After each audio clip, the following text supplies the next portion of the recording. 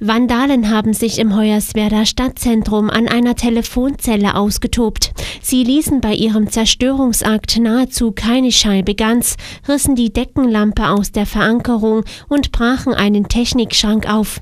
Die Telekom plant nach eigenen Angaben jährlich eine Million Euro für die Reparatur und Instandsetzung von zerstörten Telefonzellen ein. Geld, das sicher sinnvoller eingesetzt werden könnte.